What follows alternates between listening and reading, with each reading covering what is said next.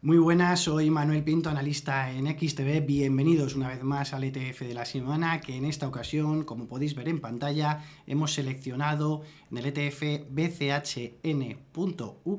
de acumulación en dólares que nos permite replicar un índice de referencia de blockchain muy ligado estrechamente con las criptodivisas y en particular con el Bitcoin. Ya sabéis que las criptomonedas han tenido diferentes noticias y ahora hablaremos sobre ello en las últimas semanas que han impulsado al alza su valor. En el caso del Bitcoin ya hemos superado los 40.000 dólares marcando los máximos desde febrero de 2022, aunque todavía algo lejano de sus máximos históricos. Aún así, en este vídeo os mostraremos algunos de los drivers y os explicaremos esos drivers más detenidamente en las siguientes diapositivas.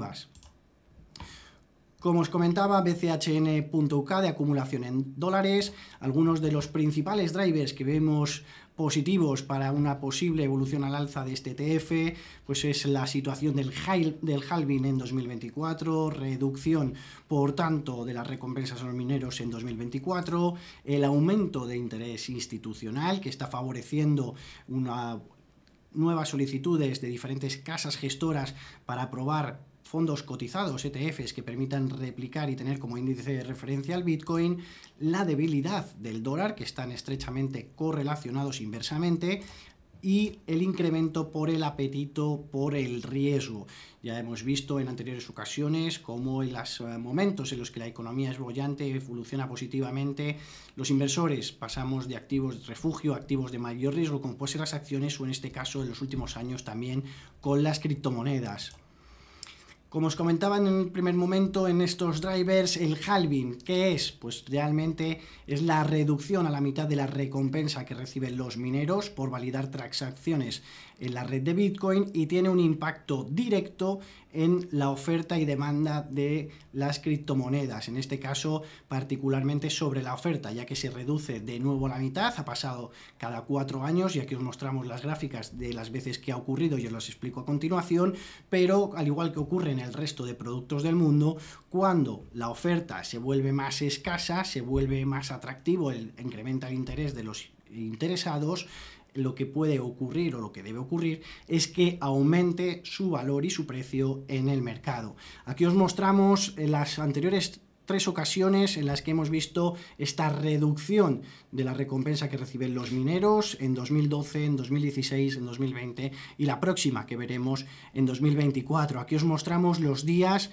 en este caso, en la línea azul son 365 días, es decir, en este caso la evolución que ha tenido el Bitcoin desde el 23 de abril de 2023 hasta el momento actual, que se ha revalorizado un 52%, y en las anteriores ocasiones os mostramos el plazo de un año, esta es la gráfica hasta el plazo de un año, la revalorización, que ha tenido, y después, ¿qué es lo que ha ocurrido una vez que hemos tenido esa situación? 365 días después. Pues en total, de lo que hemos visto en ese dos años, por tanto, que tendríamos en cuenta, pues en el caso de 2012 vemos una revalorización del 38%, pero en 2016 y 2020 ya es algo exponencial, con el crecimiento ya de por sí de las criptodivisas y el interés general, en el que vemos en 2016 un incremento del 780% y en 2020 del 693% en esos dos años. Además, particularmente interesante desde el momento en el que se produce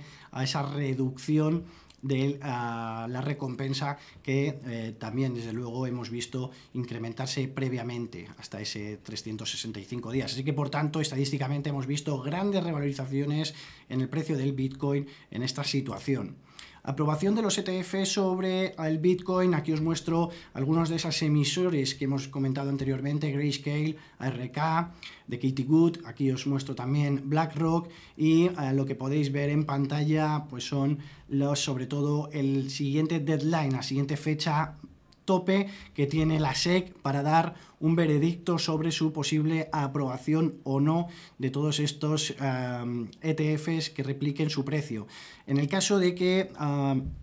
pueda aplazar la decisión si aprobar o no estos ETFs, ya la decisión final sería en estos plazos. Como veis, el primer plazo final que encontramos es el ETF de ARK de Katie Good, que sería el 10 de enero.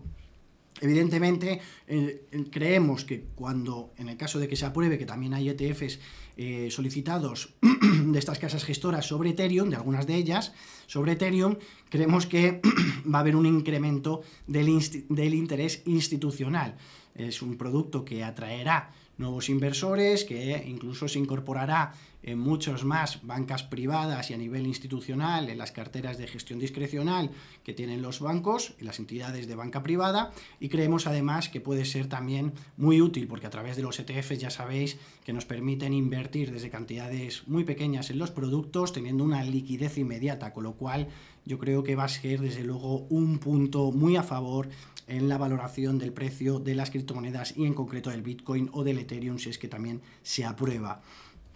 Hablábamos sobre la evolución del dólar y el apetito por el riesgo como principales drivers, entre otros, de las eh, de las criptomonedas y en concreto del Bitcoin. Aquí os muestro las ah, posibles reducciones de los tipos de interés de la Reserva Federal. Ya sabéis que políticas monetarias expansivas por parte de los bancos centrales tienen una repercusión directa sobre su divisa y en este caso, al ver recortes de tasas de manera significativa en 2024, deberíamos de ver también una caída en el dólar. Recordar que el Bitcoin, entre otros, fue diseñado como una alternativa descentralizada a los propios dineros de los gobiernos y por tanto creemos que ah, una evolución a la baja del dólar en concreto puede ser un driver positivo para la evolución de el Bitcoin. Os muestro aquí que sobre todo a partir de mayo es cuando se empiezan a estimar las primeras recortes de tasas, pero que incluso podríamos ver hasta cuatro recortes de tasas en 2024, lo cual influenciaría negativamente en el dólar y creemos que también positivamente en los mercados financieros. Serían políticas de monetaria expansiva que ayudarían a todas esas empresas con altos niveles de endeudamiento, entre otras, a tener mejores revalorizaciones en los próximos meses que algunos eventos que han marcado la evolución de las criptomonedas. También, aparte de eso, pues vemos algunas dudas en el sector bancario. De hecho, como podéis ver en pantalla, cuando ha habido el colapso de algunos bancos en Estados Unidos, como fue Silvergate Capital, como fue SVB, pues la verdad es que las criptomonedas, y en este caso el Bitcoin, tuvieron importantes revalorizaciones al alza. Así que, por tanto, en una situación en la que viésemos a, pues, a mayores niveles de default, mayores dudas en el sector bancario, que es algo que puede ocurrir debido a las consecuencias de las vertiginosas subidas de los tipos de interés, pues desde luego que pueden favorecer la evolución del precio del Bitcoin. Aquí también os mostramos algunos de los eventos que han tenido lugar en quiebras importantes de empresas relacionadas a los Bitcoin y a las criptomonedas, como fue la quiebra de FTX. Recientemente hemos conocido también la, la sentencia Ah, sobre su fundador, incluso también una sentencia sobre el fundador de Binance, que a pesar de ello, pues Binance sigue ofreciendo su actividad diaria y otras compañías como Celsius o Genesis que también tuvieron situaciones de quiebra en los últimos meses. Otro de los ah, puntos que vemos con interés es las opciones call, el que están marcadas los strike a partir del nivel de los 50.000 dólares. Como veis en pantalla, sube muchísimo a partir del nivel de los 50.000 dólares esas opciones call que se aplicarían en el momento en el que el Bitcoin superara este nivel de los 50.000 dólares, lo cual sería una subida desde el 200% desde sus mínimos marcados en los últimos meses. También referente a, eh, nos preguntábamos qué es lo que podría ocurrir en el caso que se apruebe los ETFs institucionales. Aquí os mostramos pues, una evolución que ha tenido el Bitcoin en el momento en el que se aprobaron los futuros sobre el Bitcoin en 2017 y cómo fue subiendo paulatinamente hasta el momento de su aprobación que ah, bueno, pues llegó a, tener subidas exponenciales y que como veis en pantalla aquí os mostramos pues, lo que, las subidas que está teniendo actualmente el Bitcoin en estos momentos y que marcarían los plazos hasta el evento también de la aprobación de los futuros, que significaría subidas aproximadamente de hasta un 100% de su valor, estando ahora mismo en el 44%, por tanto todavía nos quedaría pues prácticamente un 60% de recorrido en el caso de eh, tener más o menos una réplica en el momento actual de lo que ocurrió en la aprobación de los futuros en 2017. Incluso hay eh, algunas personas que siguen con dudas, como pueda ser uh, Jamie Dimon de uh, JP Morgan. Bueno, pues realmente ha ido comentando algunos aspectos sobre los Bitcoin, sobre eh, lo que pensaba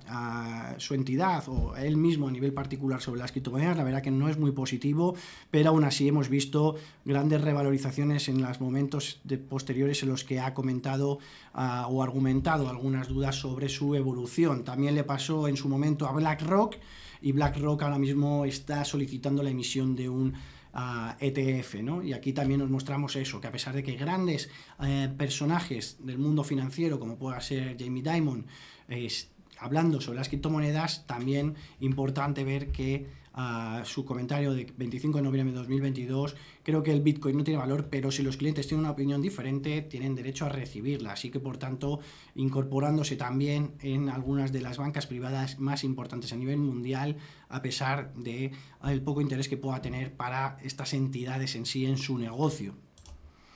Y el ETF en general, que hemos estado hablando, el BCHN.UK, la composición que tiene básicamente es de CleanSpark en un 9%, de MicroStrategy en un 7%, Coinbase en un 7% y Riot Platform en un 5%. No son solo empresas como puede ser un exchange, un sitio de intercambio que es Coinbase, sino uh, MicroStrategy, por ejemplo, es una compañía que es eh, dedicada al mundo tecnológico, de la nube, de, software, pero una de las compañías a nivel mundial con mayor ponderación de Bitcoin en su caja, en sus reservas. Por tanto, la evolución que tiene el Bitcoin hace también que la valoración de la empresa sube o baje en medida de sus uh, movimientos. CleanSpark, que es una compañía minera de Bitcoin, al igual que Riot Platform. Como os muestro en pantalla, exposición a empresas internacionales eh, no solo de Estados Unidos, Estados Unidos es un 50%, también Japón tiene una gran relevancia con un 20% y hay otras compañías, por ejemplo, como Taiwan Semiconductor, que a pesar de no tener clara relación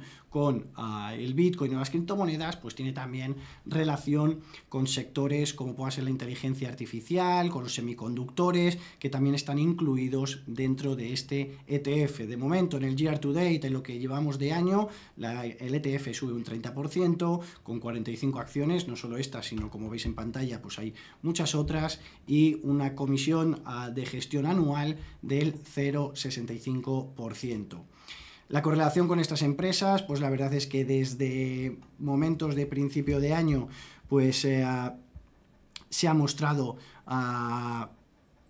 realmente similar.